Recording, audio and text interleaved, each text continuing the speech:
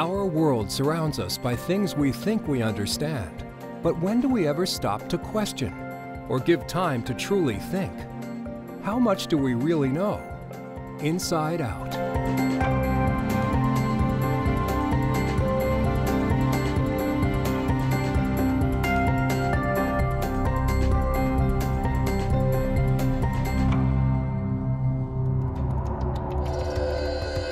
How is it possible that much of the world still lives in the dark? 1.3 billion people. The modern electric grid that we take for granted is not affordable or accessible to everyone. Can people in remote and impoverished areas of the world find their way out of energy poverty? Or will they live in darkness forever? Perhaps the answers to these complex questions can be found in surprisingly simple solutions. Electricity from pine needles Nobody ever believed that this could happen. We use the rice husk, which traditionally would be left to rot and decompose, to create power. Basically, we're converting trash and using it to light millions of people's homes. Making electricity through water is a very simple concept, but for those who see light for the first time in their life, it is revolutionary. It's not just about electricity. This is turning despair into hope.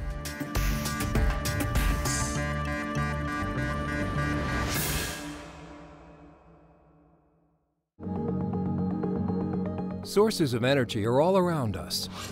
Some are obvious like solar, wind, nuclear, and coal. But what about here? Is it possible that our trash can be transformed into a source of light? In parts of the Philippines, there is an endless night. Millions of people live on just two US dollars a day in the windowless tin shacks of Manila's urban slums. Even in the middle of the day, it's pitch black inside. The Philippines have among the highest electric rates in Asia, and most families either cannot afford it or must ration their use to just a few hours at night. It's places like this, really, where there's this energy poverty that you could see how they struggle and houses here have no light. Most of their energy comes from charcoal. Illac Diaz grew up in Manila he wanted to help bring light into his country's darkened homes, but needed a solution that people could afford without having to rely on expensive electricity or poisonous kerosene. What we really have to do is look for technologies that work, uh, that are clean, that can be scaled down to, to a human basis, something that can be implemented right away. He found that solution just a few hundred meters from the slums. The Payatas Sanitary Landfill is one of the largest on the planet and home to an endless supply of one-liter plastic bottles. The thing that's available in every poor urban area or in a remote area was this one thing that you would drink for five minutes and last a thousand years. And we were thinking, what could we do with this big problem and how could we make it into the world's biggest solution? How do you let light inside your house but with a clear bottle of water with some bleach to just let light through the roof? Illac took his idea to the Massachusetts Institute of Technology. Here at MIT's Development Lab, Illac worked side by side with some of the brightest young engineering students from around the world. They came here with a common goal design low cost, sustainable solutions that will help eliminate energy poverty in developing countries. We're working with Ethiopia, where they have a lot of farmers where um, they don't have enough money to buy the giant multi-crop thresher that costs $2,000. So we have it pedal powered. The goal is to see if we can use uh, solar ovens in the developing world as a lower cost method of laminating solar cells. First is everything must be available in the poorest areas. Second, it must be able to manufacture with simple tools. Illac returned to Manila armed with new knowledge that would help him turn common trash into electricity-free solar light bulbs.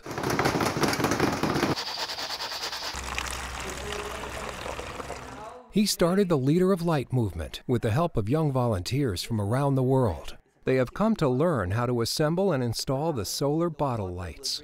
The nice thing about water is water bends the light. Bends the light. So once the water goes inside, it will bend the light to be able to go all around the house. The solar light bulb produces the same amount of illumination as a 55 watt electric bulb, by simply taking the sunlight and refracting the energy. Using non-biodegradable plastic bottles and sunlight is likely the least expensive lighting device ever invented. Because there is no patent, volunteers are flocking to Manila to learn how to replicate Illac's efforts in their own countries. It doesn't have to be high-tech, complicated, and with sophisticated technology, but it can be done through a grassroots way that will be a new way that has not been seen before. Illac now has a small army of volunteers who are helping to spread the gift of light. They work under harsh conditions, but the reward is immediate. In just minutes, the benefits of the solar light bulbs are visible. This one completely lights up, you know, a 20 square meter house very well. So, ngayon maliwanag. so I said it's a big change and she said absolutely it was so dark before you couldn't really see that much but now it's made a big difference. She used to spend almost half her family's income on electricity, one US dollar per day. 50 cents during the day and then 50 cents during the night using gas or kerosene to light up. And so now with this one, she only has to do it during the night. So that's 50% savings. On top of a yeah. rooftop? Yeah, it's my first time. Oh, wow. Beneath the rickety tin roof, an elderly man anxiously awaits the arrival of his first light bulb. Are you ready to light up a family's house? Yes. Okay. One, two, three. Woo!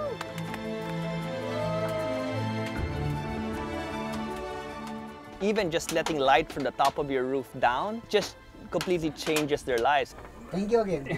no problem. Yes. I'm going to be passing this to the, my friend and colleagues back home and then tell them to spread this around the world because it's really simple and easy, then make people happy. Tens of thousands of Illac solar light bulbs are now illuminating homes and businesses in Manila and beyond. Anyone that wants to make a difference can do it with the simplest tools and with a simple idea. Starting here in the Philippines, we will give the gift of light from here and it will go all around the world. And that is my dream. One man's trash is another man's treasure. And that applies to more than just plastic bottles. In remote parts of India, entire villages have electricity for the very first time because they've figured out how to turn waste into energy.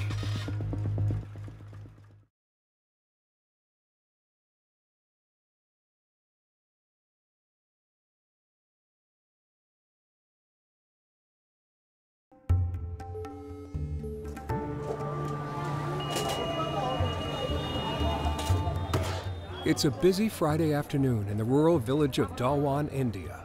Farmers and artisans from all over Bihar province have come to sell their goods. Like many remote villages, Dawan is not connected to the national electric grid. Sundown has generally signaled the end of business. But tonight, commerce continues because of a small power plant that runs on a source of fuel that is abundant and inexpensive rice husks. Rice is uh, used for eating and the rice husk which traditionally would, would be thrown and basically left to sort of rot and decompose. We use that now to create power. India grows 80 million tons of rice each year, which means there's an ample supply of fuel. Local farmers are paid to deliver their husks, and every evening at dusk, the generator comes to life.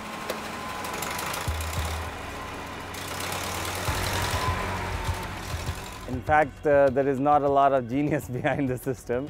Biomass gasification is more than a century old technology.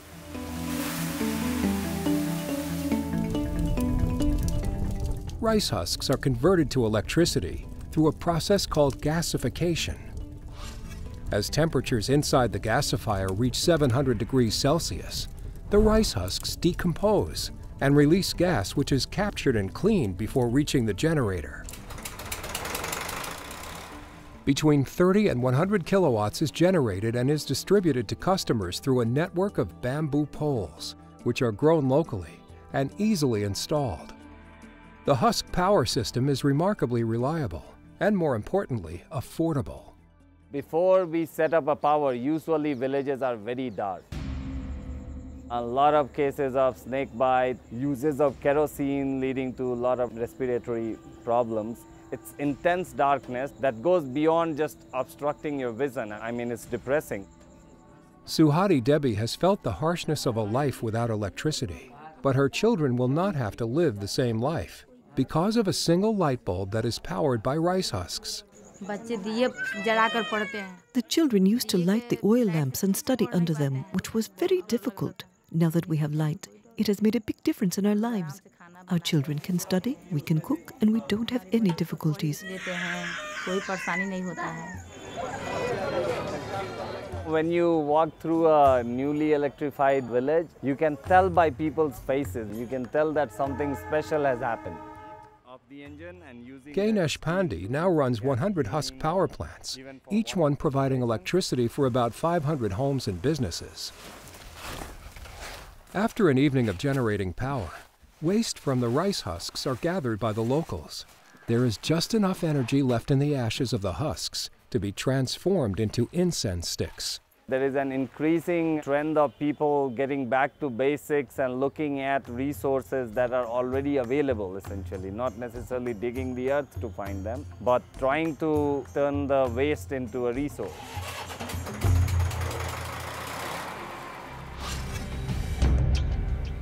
In the foothills of the Himalayas, they don't grow rice, but they do have thick forests of pine trees, which shed millions of tons of needles. In the summer, they're like matchsticks that ignite, destroying the forest.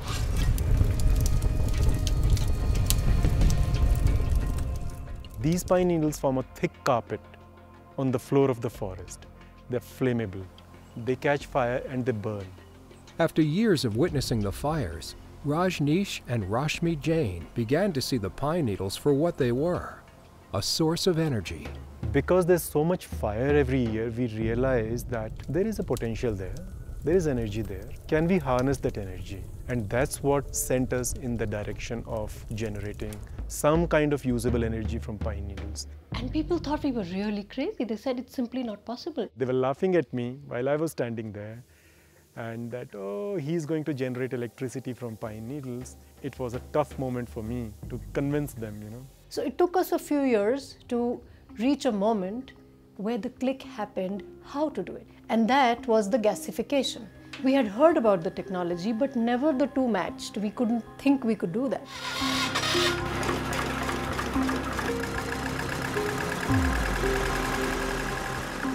It was so simple. It was amazing for me to see my first power plant started generating power. I was almost on the verge of crying. It was really a magical moment for me. Like rice husks, pine needles are a biofuel, but they contain more energy due to their resin content, and thus the gasifier stove is configured differently to allow each pine needle to ignite to its full potential. The generator creates approximately 75 kilowatts of electricity. We can stop the fires there, bring the pine needles here, pay the people who collect pine needles, and use these pine needles in generating electricity. It's the kind of off-grid solution that goes beyond just providing electricity. When there is more reliable access to electricity in these remote areas, it will drive the rural economy because electricity is really a must for any enterprise to be developed in the area. The energy is used here at their foundation Avani, where they produce some of India's finest silk products.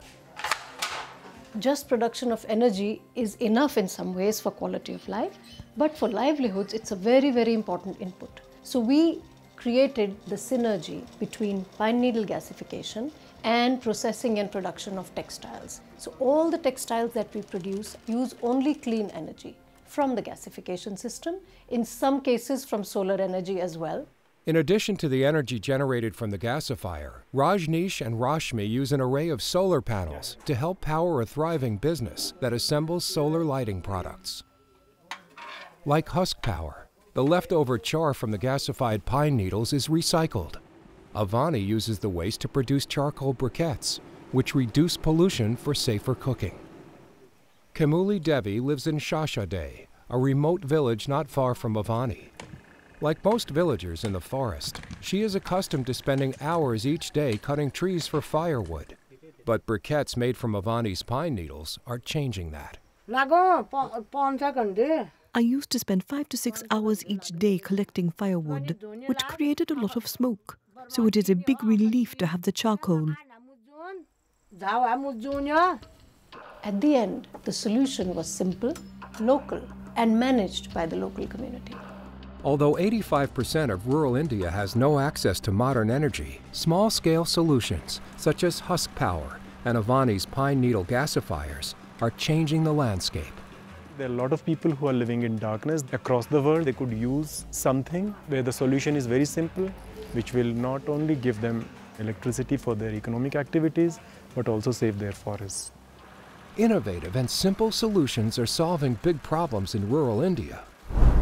In neighboring Nepal, find out how they're electrifying Himalayan communities by harnessing the power of water.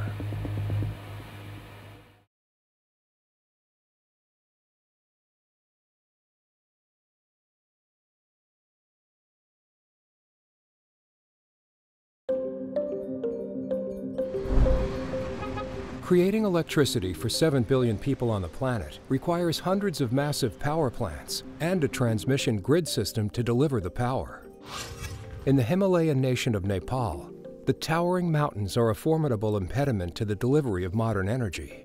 Only 20% of the mountain villages have access to electricity. Nepal is a poor country, you know that, but I think we don't have many resources because we are landlocked and we don't have fossil fuels. But one thing we are rich, that is the water resources. Water is Nepal's oil. Massive streams and rivers flow from its enormous mountain glaciers. Engineers estimate that Nepal has enough water to generate 40,000 megawatts, more than enough to electrify the entire country of 27 million people. But building large-scale hydroelectric projects is expensive and takes years to build. That's time and money these remote villages don't have. It's difficult to reach out to national grid. So they have to have their own system within the community for their own development. For rural areas of Nepal, there is a simple solution. Small-scale implementations of hydroelectric projects, called microhydro, are being used to harness the power of water to produce electricity. Microhydro relies on the same principles as a giant hydroelectric dam, but it is a fraction of the size and cost. Electricity is generated by diverting water flows into canals. Gravity drives the water through a penstock and into a powerhouse. The rest is simple physics. Water turns the flywheel on the generator, and the output is about 100 kilowatts of electricity. Microhydro projects like these can be built quickly and at a fraction of the cost of massive plants. The nighttime landscape is changing rapidly in Nepal. Darkened streets are illuminated. Homes have lights for reading. The silence replaced with evening newscasts, power tools, and internet cafes. Electricity is flowing, not from massive power plants hundreds of kilometers away from these villages, but from electricity right here, where the community operates and maintains the system. Generating electricity from water is not a new concept. No, actually Nepal had uh, microhydro since the 60s, 1960s. But the way it was promoted was not very systematic at that time. So in 1996, UNDP came up with this idea that the microhydro would be the center, but the goal of the program was overall development of a village or a community. Under this UNDP model, communities are required to help with everything, from digging the channels, to diverting the water, to stringing the power lines, and installing the lights. Since 1996, nearly 400 microhydro power plants have been built in the most remote and impoverished areas of Nepal, bringing modern energy for the first time to 500,000 people. The day that modern energy arrives in Nepal is a day to celebrate. In many villages, people are in the beginning quite skeptical about the microhydro. Once they see the light, some of them are awestruck, others are so happy they just can't control themselves. When they see that first bulb click, you can see the smile, you know, from your mouth to the eye. The difference UNDP made was to put community people at the center of the project so that they are the driver to introduce this technology and then also maintain and then have full ownership. The output is between 30 and 100 kilowatts, or enough to power a small village the size of Karbang in western Nepal's Baglung district. Micro-hydroelectricity has sparked economic development in Karbang. Welding shops, a cell phone repair business, and even an ice cream cone can be found on the street.